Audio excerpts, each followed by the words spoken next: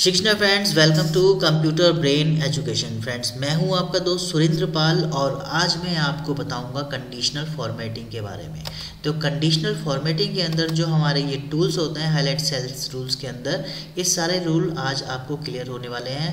जैसे greater than less than between equal to text that contain date occurring and duplicate value तो friends सबसे पहले हम सीखेंगे ग्रेटर देन तो फ्रेंड्स हमारे पास ये एक टेबल है, ये एम्प्लॉय नेम है और इन्होंने प्रोडक्ट इतना इतना सेल किया हुआ है।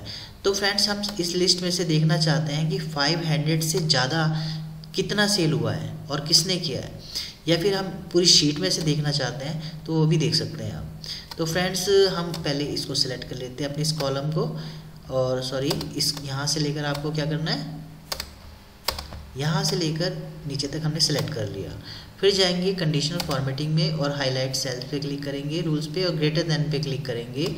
तो ग्रेटर देन मतलब क्या होता है फ्रेंड्स बड़ा। हम इसमें ढूंढना चाहते हैं 500 से बड़ा, है ना? 500 से बड़ा हम कंडीशन देना चाहते हैं। अगर इन सेल्स के अंदर जो भी हमने सेलेक्ट किया है, अगर इसके अंदर कहीं पे भी 500 से बड़ा होगा, यानी 500 से ज़्यादा होगा तो वो कैसा हो जाए, वो ग्रीन हो जाए।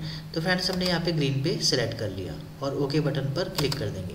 तो फ्रेंड्स आप देख सकते हैं यहाँ पे 500 से जो भी ज़्यादा है वो ग्रीन हो गया है। फ्रेंड अब दूसरा रूल हम सीखते हैं, इसी में लगा सकते हैं या दूसरे में भी लगा सकते हैं। चलो हम इसमें लगा लेते हैं।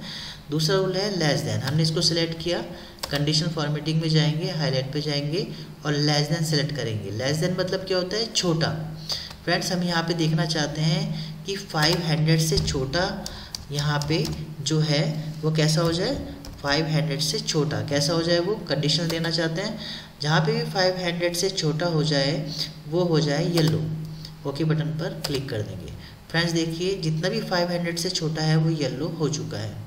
इसी तरह से फ्रेंड्स इसमें भी इसको सेलेक्ट कर लेते हैं। इसमें तीसरी जो कंडीशन है हम वो देते हैं।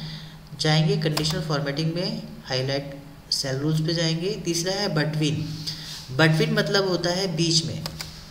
फ्रेंड्स हम देना चाहते हैं कि कहीं पे भी अगर 200 से और 300 के बीच में कहीं पे भी कुछ लिखा हुआ हो तो वो कैसा हो जाए? तो फ्रेंड्स इतने सारे रूल्स आ रहे हैं और यहाँ से आप कुछ भी सिलेक्ट कर सकते हैं। रेड हो जाए। ओके बटन पर क्लिक करेंगे। तो आप देख सकते हैं, सिर्फ़ एक ही वैल्यू है 200 से 300 के बीच में तो वो येलो हो गई है। तो इस तरह से फ्रेंड्स हम ये तो रूल्स निकाल सकते हैं। बट ये जो रूल है ऑलरेडी पहले से हम जो सिलेक्ट कर रहे हैं, जैसे हमने ग्रीन सेलेक्ट किया येलो सेलेक्ट किया, हम अपना कुछ बनाना चाहते हैं। तो फ्रेंड्स अभी हमने देखना है कि यहाँ पे रूल कहाँ कहाँ लगे हुए हैं। हमें रूल को हटाना है। तो हटाने के लिए आप क्या करेंगे? फाइंड में जाएँगे और यहाँ पर कंडीशनल फॉर्मेटिंग मिलेगा। जैसे आप यहाँ क्लिक करेंगे, जहाँ जहाँ रूल लगे हैं, वो सिलेक्ट कर लेगा। तो फ्रेंड्स इतने में सब में रूल लगे हुए हैं तो उसने पूरा सिलेक्ट कर लिया। सपोज़ आप इतने से रूल हटाना चाहते हो ओनली इस पोर्शन से तो इतने पोर्शन से रूल हटाने के लिए क्या करेंगे? कंडीशनल फॉर्मेटिंग में जाएँगे और सबसे नीचे मिलेगा क्लियर रूल फ्रेंड्स यहाँ पे मिलता है clear rule for selected cell यानी आपने जो सिलेक्ट किया है ओनली उसी पे से रूल हटेंगे।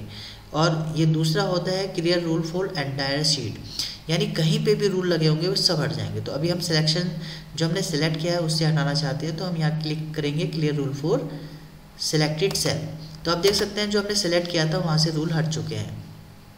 फ्रेंड्स आप चाहते हो कि पूरी शीट से हटाना है तो आपको कहीं सेलेक्ट करने की ज़रूरत नहीं है। कहीं पे भी क्लिक हो, आपको डायरेक्ट यहाँ पे कंडीशनल फॉर्मेटिंग में क्लिक करना है और क्लियर रूल पर जाना है। और यहाँ पे आपको मिलेगा clear clear rule for entire sheet यानी पूरी शीट से रूल हटाने तो आपको इस ऑप्शन पर क्लिक करना है। तो आप देख सकते हैं, पूरी शीट से रूल हट गए। फ्रेंड्स एक चीज़ और समझते हैं। अब हम इसको सेलेक्ट करते हैं। इसको सिलेक्ट करने के बाद कंडीशनल फॉर्मेटिंग में जाते हैं और यहाँ पे ग्रेटर देन सेलेक्ट करते हैं। अब देखिए फ्रेंड्स यहाँ पे जैसे हम, हमने पहले 500 टाइप किया था तो आप दोबारा कर देते हैं। अब इसमें जो ये रूल आ रहे हैं, ये कुछ अपना रूल बनाना चाहते हो? ये तो ऑलरेडी पहले से है कि भाई अगर 500 से ज़्यादा हो तो रेड रेड लेना है येलो लेना है ग्रीन लेना है। आप अपना कुछ बनाना चाहते हो तो यह कस्टम फॉर्मेट आ रहा है। तो आप कस्टम फॉर्मेट में भी जाके अपने खुद के रूल बना सकते हो। जैसे कि फिल यानी जो बैकग्राउंड का कलर है, वो कैसा हो जाए। कोई भी 500 से बड़ा कहीं पे भी लिखा हुआ होगा तो उसका बैकग्राउंड का कलर कैसा हो जाए। तो हमने बैकग्राउंड का कलर ले लिया रेड ठीक है? और ये फॉन्ट यानी जो लिखा हुआ है, उसका कलर कैसा हो जाए तो फ्रेंड्स फॉन्ट में जाके यहाँ पे कलर चेंज कर सकते हैं। ऐसे इसका आपका साइज़ जैसे रेगुलर है इटैलिक है, इसमें से भी आप कुछ ले सकते हो। फ़िलहाल हम कलर चेंज करके देख लेते हैं। तो ऑटोमेटिक में जो लिखे हुए का कलर है, कैसा हो जाए? येल्लो हो जाए। और ओके बटन पर क्लिक कर देंगे। तो फ्रेंड्स आप देख सकते हैं, जो हमने अभी फॉर्मेटिंग ली, उसके अकॉर्डिंग ये हो गया है। अगर हमने कैंसिल कर दिया तो ये पहले जैसा हो जाएगा, हम ओके कर देते हैं। तो देखिए, जो इस तरह से आप अपना जो कस्टम रूल भी बना सकते हैं कस्टम कर सकते हैं, जो भी कलर लेना है। फ्रेंड इसके बाद तीसरा ऑप्शन कौन सा था हमारा? सॉरी फोर्थ नंबर था इक्वल टू तो इक्वल टू को समझते हैं। फ्रेंड्स हमने इसको सिलेक्ट किया। ये देखिए। इनको, हमने इसको सिलेक्ट किया और हम इसमें यहाँ पे जाएँगे हाईलाइट्स रूल्स पे जाएँगे। इक्वल टू होता है बराबर। यानी हम इसमें ढूंढना चाहते हैं 650 के बराबर कहीं पे कुछ लिखा होगा। है ना? तो क्या हो जाए? देखिए 650 के बराबर कहीं कुछ लिखा होगा तो वो येल्लो हो जाए या रेड टैक्स हो जाए। तो ओके बटन पे क्लिक कर देंगे। तो देखिए वो रेड टैक्स हो गया, यानी जो लिखा हुआ है उसका कलर रेड टैक्स हो गया। क्योंकि हमने इक्वल टू मतलब क्या होता है? बराबर। ठीक है? इसी तरह से हमने इसके बाद कौन सा रूल है हमारा? इसके बाद है टैक्स दैट कंटेन फ्रेंड्स जो टैक्स दैट कंटेन होता है यहाँ पे तो ये ओनली टैक्स के लिए होता है। ठीक है? तो जैसे हमारे पास बहुत लंबी शीट है और हम देखना चाहते हैं हमारे एम्प्लॉय के नाम। कि जो किसी की डिटेल देखने की वो कितनी जगह लिखे हुए हैं। सपोज़ हम राम, इस इस पूरी शीट में से ये वन थाउज़ेंड एम्प्लॉय की शीट मान लेते हैं और हमें देखना है राम कुमार कहाँ कहाँ लिखा हुआ है।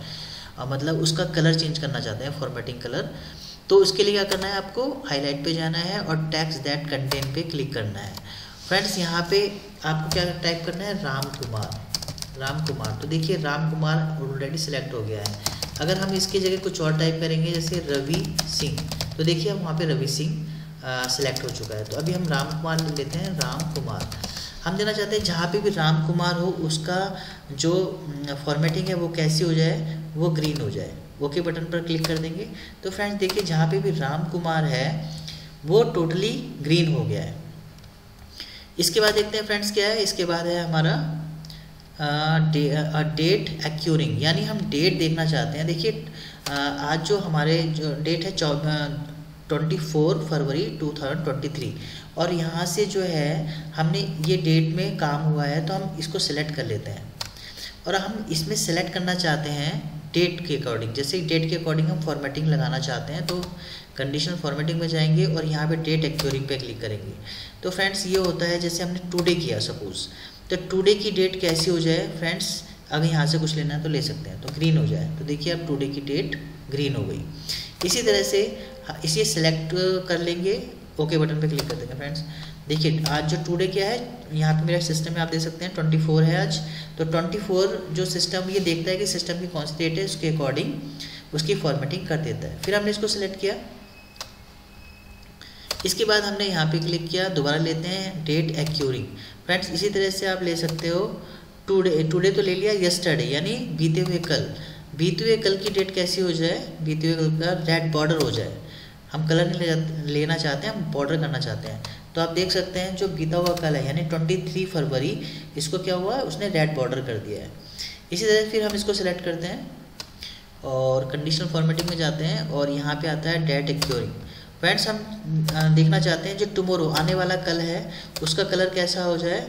उसका जो है ना उसका कलर रेड हो जाए। या फिर दूसरा लेते हैं फ्रेंड्स येलो हो जाए। देखिए हमने येलो ले लिया। तो जो आने वाला कल है, देखिए, उसका कलर येलो हो गया। तो फ्रेंड इस तरह से हम इसका यूज़ कर सकते हैं, किसका? डेट एक्यूरिंग का। फ्रेंड इसके बाद लास्ट बचता है हमारा डुप्लीकेट वैल्यू अब फ्रेंड्स डुप्लीकेट वैल्यू ये वैल्यू के लिए होता है सपोज़ हमने ये पूरा कॉलम सेलेक्ट किया यहाँ तक, और हम देखना चाहते हैं कि यहाँ पे जाएँगे हाईलाइट सेल पे जाएँगे डुप्लीकेट वैल्यू जहाँ पे भी डुप्लीकेट वैल्यू हो, वो कैसी हो जाए? वो जी रेड हो जाए, है ना? कैसी हो जाए? रेड हो जाए। तो हमने यहाँ रेड फिल पे क्लिक कर दिया। ओके बटन पे क्लिक कर दिया। अब फ्रेंड्स यहाँ पे कहीं पे भी डुप्लीकेट वैल्यू होगी तो वो रेड हो जाएगी। देखिए, मैं यहाँ टू टू थ्री टाइप करता हूँ तो दोनों क्या हो जाएँगी? रेड हो गई। क्योंकि यहाँ दो हो गई टू टू थ्री इसी तरह से अगर मैं यहाँ टाइप करता हूँ वन वन नाइन तो ये जो वन वन नाइन है और ये ऊपर जो वन वन नाइन है, दोनों क्या हो जाएँगे? रेड हो जाएँगे। तो इस तरह से हम कंडीशनल फॉर्मेटिंग का यूज़ करते हैं। फ्रेंड्स आशा करता हूँ कि आपको वीडियो अच्छा लगा होगा। अच्छा लगा हो तो प्लीज़ सब्सक्राइब करें लाइक करें शेयर करें। Thanks for watching